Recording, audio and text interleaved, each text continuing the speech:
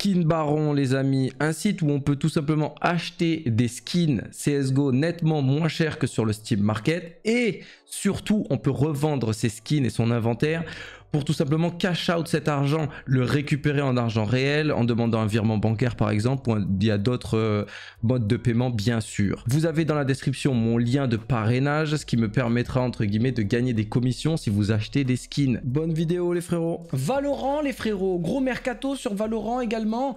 Ça y est, l'actu Valorant, j'en ai pas fait la semaine dernière parce qu'il y avait rien à dire tout simplement. J'ai vu des commentaires aussi, voilà, je m'excuse. Ah, Malek, l'actu Valorant. Euh, bah, il y avait rien, mais voilà, il y avait, y avait, y avait pas grand chose. C'était la période des qualifs des VCT, euh, donc euh, pas ouf quoi. Je vais pas parler du tiers 128 mondial de Valorant, mon ami. J'attends vraiment des, des, beaux événements. Et on va parler de Vitality qui kick Jesmund pour prendre Chalabi. Attention, Chalabi en stand-in. Donc Chalabi qui est un joueur égyptien. Donc très intéressant de voir ça. Alors déjà, très content, très fier. Je pense que pour les euh, catégories euh, EMEA, donc c'est euh, East, Arabique, machin, zone, je sais pas quoi.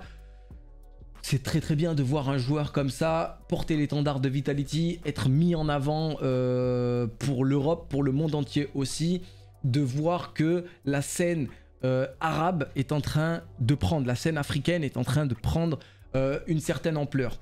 J'en parlais, je crois, il y a deux ou trois semaines dans, un commentaire. Il y avait quelqu'un qui disait euh, l'Afrique s'en est où, etc. Et je disais que ça manque d'infrastructures, ça manque de pas mal de choses. En Europe, euh, voilà, tout le monde a un PC, tout le monde a Internet, la fibre optique, etc. Que ce soit en Suède, en Allemagne, en Angleterre, en France et tout, c'est très accessible, ça coûte pas très cher.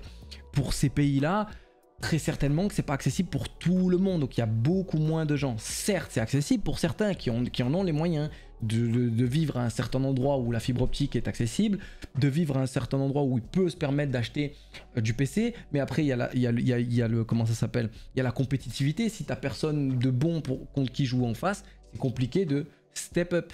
Donc il faut jouer contre les Européens ou contre les Américains, ou contre les Asiatiques pour ces mecs-là. Euh, et derrière, c'est le ping qui va jouer. Donc c'est très compliqué pour eux. Euh, en tout cas, une bonne nouvelle, je trouve. Attention, ça reste un stand-in. Je pense que c'est une période de test, de voir un petit peu comment ça se passe. Et aussi, criant de vérité, Vitality impatient, Vitality instable, Vitality irrégulier, Vitality moyen bon. Donc ils font du bon. Ils se sont qualifiés d'ailleurs pour les VCT.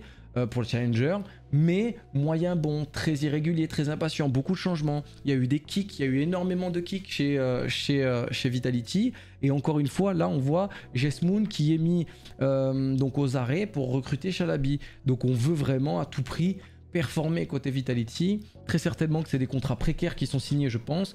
Donc des périodes de 2 mois, de 3 mois, de 4 mois.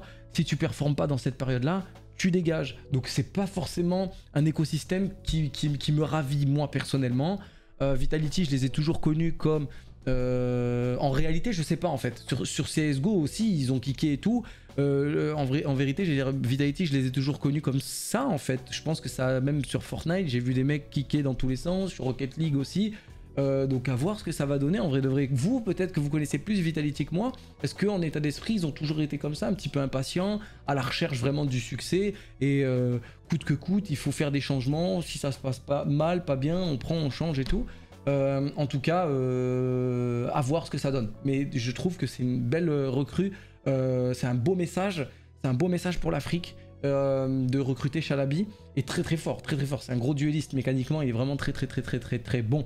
On enchaîne encore une fois avec des Français. BDS qui a recruté un sixième joueur qui est Gats. Donc Gats Owen, euh, pour ceux qui ne le savent pas, c'est un ancien joueur de CSGO qui était dans le subtop, qui jouait notamment avec Wallax et Maxob. Donc je, les cite parce que ce sont les coachs et analystes de BDS. Donc très certainement encore une fois qu'il y a euh, des affinités avec ces gens-là qui existent et donc forcément euh, de l'expérience et, une vraie. Euh, c'est pas du piston. Je, sais très bien qu'il y a des gens qui disent piston, etc. C'est comment dire, on connaît, on sait ce qu'on recrute. Euh, ces mecs-là, voilà, les, analystes et les coachs maintenant à l'heure actuelle. Donc avant, ils étaient joueurs, hein, ils jouaient avec eux, avec lui, c'est leur pote, bien évidemment, mais ils connaissent le potentiel de ce joueur-là. Donc très certainement qu'aujourd'hui, ils ont accès à du BDS. Ils disent, on veut recruter ce sixième joueur-là. C'est très intéressant. Attention, euh, deux, hypothèses. La bonne et la mauvaise. La bonne, euh, c'est moi je le vois comme ça. sixième joueur sur euh, Valorant, je trouve ça exceptionnel. Je sais même pas pourquoi il n'y a, pas 7 ou 8 joueurs en fait sur Valorant. C'est-à-dire que tu peux changer de composition, tu peux changer d'agent en fonction de qui tu vas jouer entre les maps, comme Nivera euh, avec Shox, etc. Il rentrait sur Inferno, l'autre il sortait sur D2, un coup c'était lui, un coup c'était l'autre, un coup c'était Mizuta, un coup c'était Nivera. Enfin voilà, ça, s'interchangeait en fonction des affinités, des maps, en fonction de, comment dire, de sa motivation, de ses performances, de ses envies, etc. etc., etc. Sur Valorant, je trouve que c'est encore plus criant de vérité, encore plus exploitable, un plus gros potentiel. Parce que tu peux te permettre, entre guillemets, d'avoir peut-être sur une map contre une telle équipe, si tu sais que tu vas commencer en défense, de prendre peut-être deux grosses sentinelles. Tu sais que tu vas jouer une map plutôt ouverte comme Breezy, etc.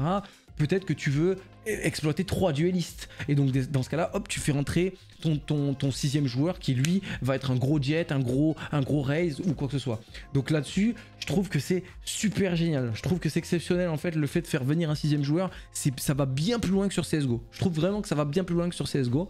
Euh, avoir maintenant la cohabitation, la concurrence, ils vont vraiment créer un écosystème sympa et tout, si ça va être sain, ou au contraire si c'est malsain. Donc ça c'était la première hypothèse. La deuxième hypothèse, donc c'est la, deuxième hypothèse malsaine, c'est que, donc ça c'est la théorie du complot, hein, c'est si euh, Gats et euh, Max, Hob, etc. sont des potes, donc ils le font venir, peut-être que ça va pas bien euh, chez BDS, un peu d'eau dans le gaz, et qu'il y en a un qui va dégager d'ici quelques semaines, et qu'on fait une transition un petit peu tranquille, fluide, avec euh, Gats qui va venir pour apprendre un peu le jeu, etc., etc., pour faire un changement, une transition plus simple.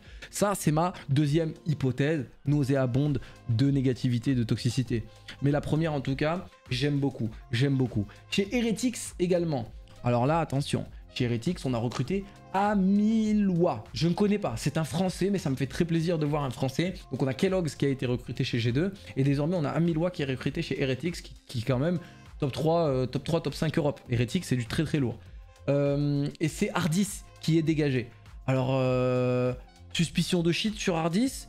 Ils avaient déjà un sixième joueur qui était Nisao, qui lui aussi est suspecté de cheat. Donc on a un sixième joueur qu'on ne fait pas rentrer on kick un joueur qui potentiellement est bon pour faire venir un français.